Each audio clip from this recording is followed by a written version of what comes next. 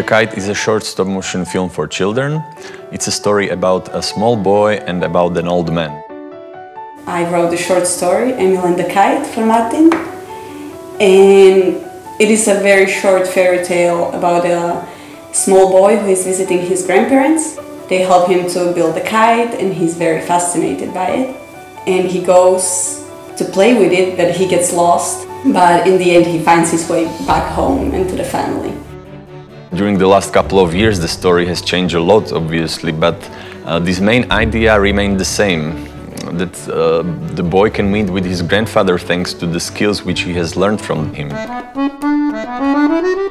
Well, I decided to work with Martin after I saw his film on Berlinale, his previous film Rosso Papavero, also the puppet film, and we met in Bratislava and I asked him that if he has any idea to for the new film and he introduced me the idea for the kite.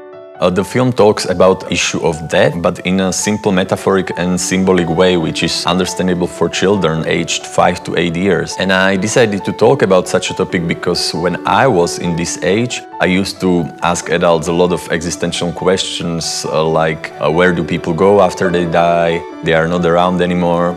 And later on I realized that basically there is no one in the entire world who can give me the exact answer, right? Because nobody knows it. So the only thing we can do is to imagine what it might look like. And uh, I imagined it as this big space full of soft, fluffy clouds. You can jump in them, swim, and dive in them. So in the end, it's not so bad. Pre-production and the storyboarding was the part that I enjoyed a lot because with Martin we would uh, have a meeting every each second day and we were really into making the story work and to make the characters come alive. So we would intensify the process as much as we could because we knew it will be worth it. And we studied a lot of references to actually have the overview of how the whole film will look like. And uh, that's basically what we did. We studied every stop motion film that we liked and like in the really big depth we would talk about it and uh, see what we actually like about it.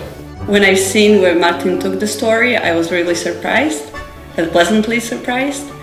I think the core stayed the same that the family and the human relationships are important but i think he gave a really deeper meaning to it this is actually what I want to say through this film. Like on one hand to explain the fact that none of us is here forever and all living creatures must die, but on the other hand to show that someone's journey doesn't have to end with uh, death.